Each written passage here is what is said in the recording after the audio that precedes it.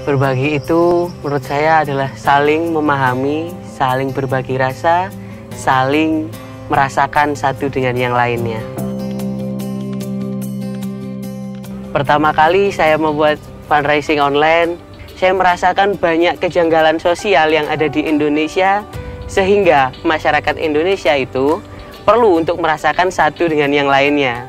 Kemudian saya bertemu dengan teman-teman di tim AWU untuk pertama kalinya untuk melakukan fundraising, membagikan sepatu di Sumba.